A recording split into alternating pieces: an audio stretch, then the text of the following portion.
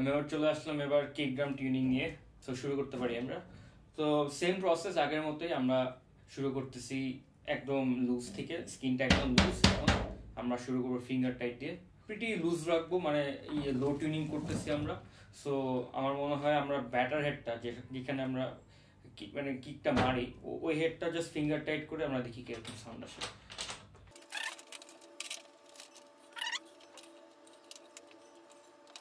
একদম মোটামুটি finger tight করলাম, দেখি অবস্থা, কোনগুলো।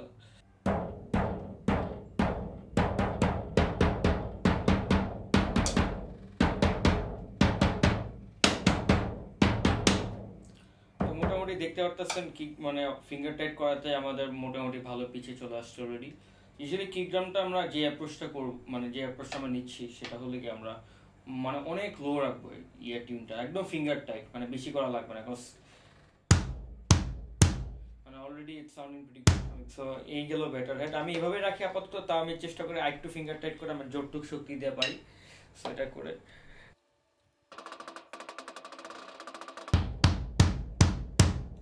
নাইস মোটামুটি ভালো টিউনে আসছে, এখন আমরা উল্টা সাইডে চলে যাই। সো রেজো সাইডটা প্রিটি লুজ এখন। সো সেম প্রসেস করব। আমরা ফিঙ্গার টাইট করব আগে। পরে আমরা জাস্ট একটু কোয়ার্টার টার্ন বাড়াবো আর কি। দিয়ে।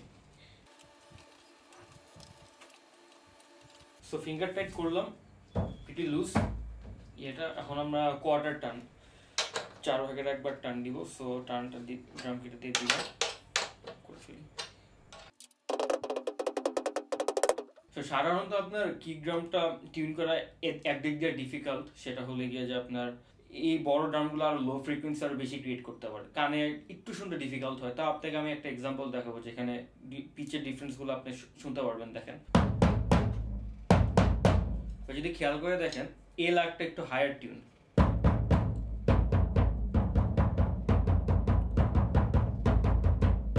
তো এটা কিন্তু অলরেডি হায়ার টিউনে আছে সো আমরা একটু এটা কমিয়ে দিই।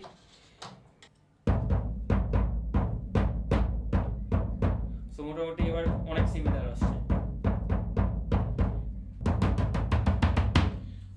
সো রেজো হেডটা টিউন করলাম, এখন আমরা চলে যাই ডিফারেন্সটা ব্যাটার আর রেজো হেডের ডিফারেন্সটা একটু বের করার জন্য। তো আমরা উল্টাই কিক ড্রাম টিউনিংটা মোটামুটি ডান। সো আমরা একটা বাড়ি মেরে দেখি কি অবস্থা।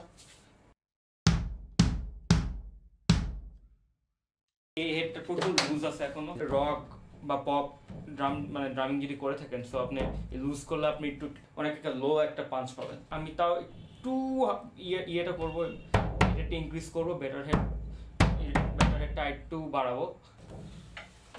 কারণ এটা আমার কাছে এখন বেশি লুজ মনে হচ্ছে সো একটু বাড়িয়ে ফেলি।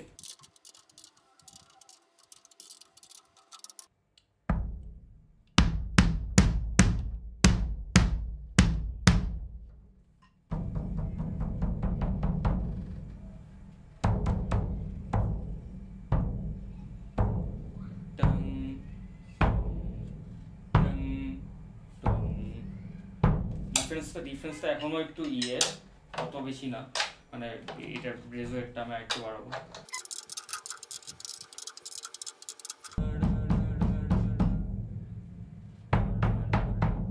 এই ডিফারেন্সটা মোটামুটি আমার কাছে ভালো লাগছে সো এবার একটু জোরে মেরে দেখি কেমন লাগে।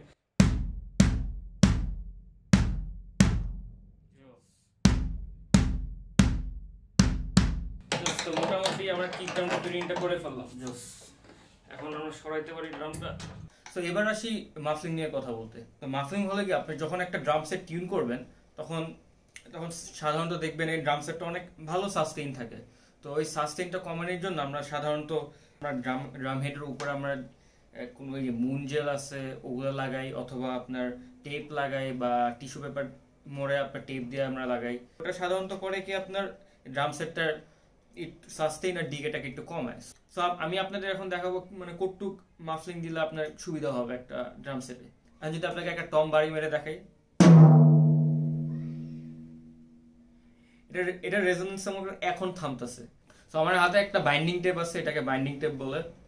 তো বাইন্ডিং টেপ আপনি পেতে পারেন আপনার ইয়ে স্টেশনারির দোকানে, যেখানে খাতা, কলম বা পেন্সিল বেচে ছিঁড়ে টেপটা এরকম করি।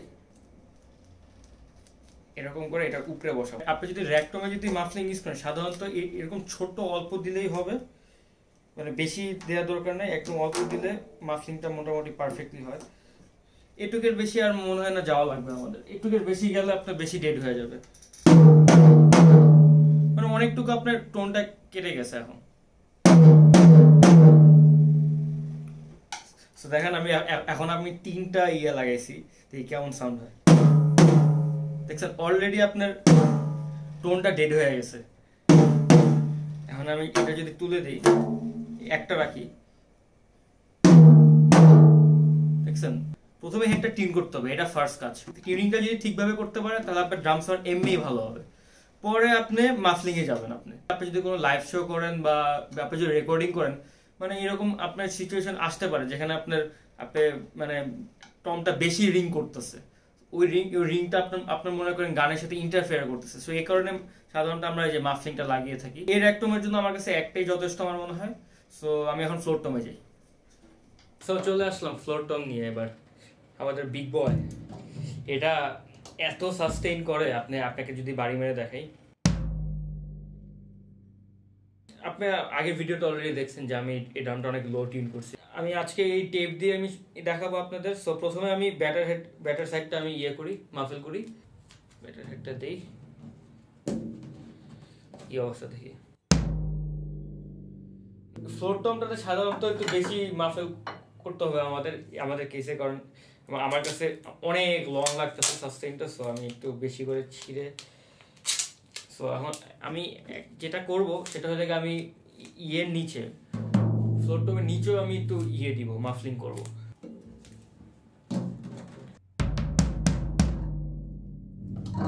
সো মোটামুটি অনেকটুকু সাস্টেইন কমে গেছে। অনেক কমছে, এই দুইটা কাজ করতে সো আমি আপনাকে যদি দেখাই জাস্ট ছোট্ট করে এই নিচে আমি লাগাইছি এখানে। মানে একদম মাঝখানে না মানে একদম সাইডে লাগাইছি, একটা লাগের সাইডে তাও আমার কাছে মনে হয় একটু সাবসেটটা বেশি। আপনি চাইলে এটা রাখতে পারেন আপনার কাছে যদি ঠিক লাগে আপনি এইটুকুই রাখতে পারেন। বাট আমি আমি মনে হয় আমি আরেকটু মাফেল করব এটা। অল্প একটু করব দুই সাইডেই একই সমান তালে। আপনি যদি সেকেন্ড মাফলিংটা দেন মানে সবচেয়ে বেস্ট হয়ে লেগে আপনার এই পজিশনটা যাতে আপনার এখানে থাকে। এই সামনে যদি আপনার প্রথম ইয়েটা থাকে টেপটা থাকে আপনি এখানে করতে পারেন। একদম দুই হেডের সাইডে দিলে মানে ইকুয়ালি আর কি মাফেলটা হবে।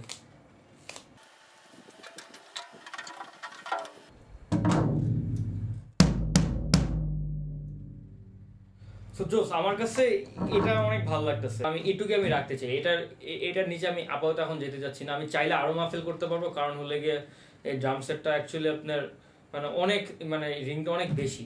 শর্ট নামের জিনিসটা এখন যেটা শোনাচ্ছে এটা খারাপ না। মানে এই মাফলিংটা করছি মানে সাস্টেনটা আছে বাট একদম ডেড সাউন্ডিং হয় না যেমন আপনি একটু আগে যে টমটা দেখালাম মানে অত অত মরা মরা লাগে না। মানে টোনটা আমরা পাচ্ছি এখান থেকে।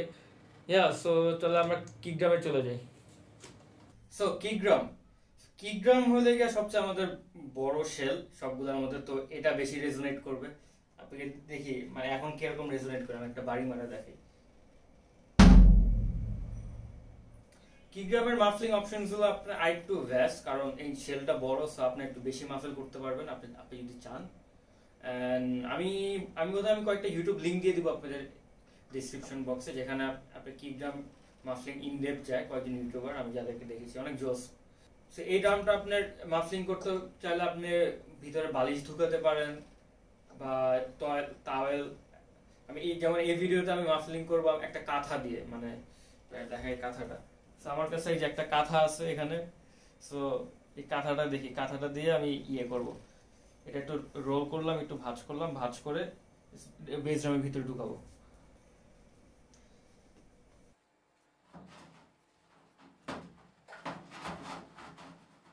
সো কাঁথাটা এবার মোটামুটি ঢুকছে, তো আমি আপনাদের, আমি কাঁথাটা ঠিক করব। একটু হাত হাত দিয়ে জাস্ট ঠিকভাবে জাস্ট বসাবো এই কাঁথাটা।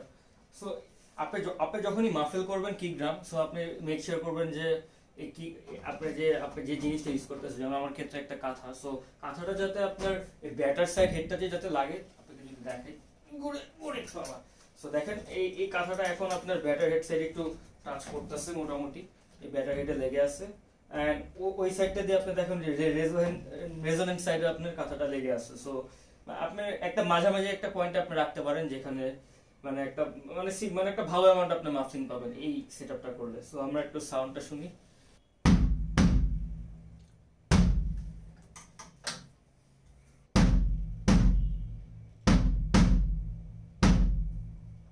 জোস, আমার কাছে মনে হয় এই সাউন্ডটা জোস লাগতেছে এখন।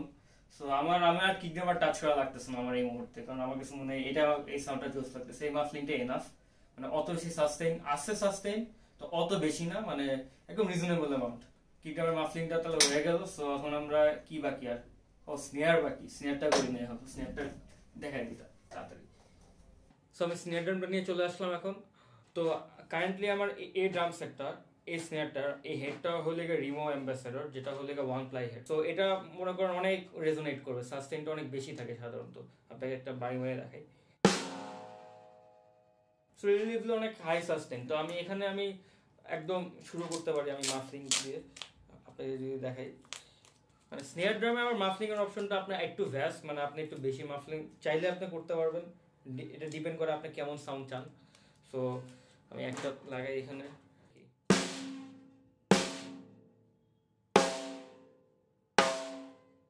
সো অনেকটা সাস্টেন কমে গেছে একটা দেয়াতে। সো আমি যদি আরেকটা আরেকটা টে- আরেকটু যদি টেপ লাগাই, কি হয় দেখি। সো ভালোই আপনার মাফেল হয়েছে ইয়েটা।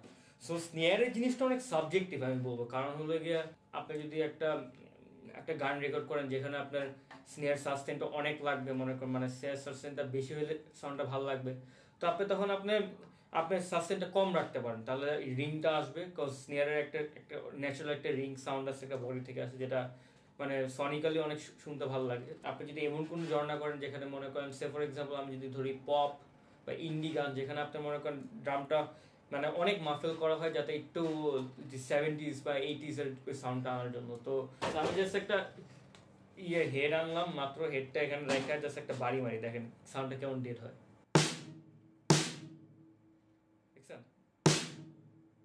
সো আমি এটা জাস্ট একটা ছোট্ট একটা টম ইয়ে বারো, দশ ইঞ্চি টমের ইয়ে রাখলাম বাট মানে এই সাউন্ডটা অনেক জোস।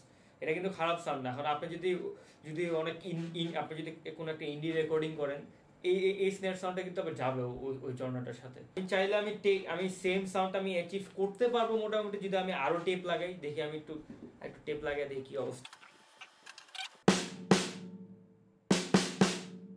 মানে অনেক একটা ফ্যাট একটা সাউন্ড আসে।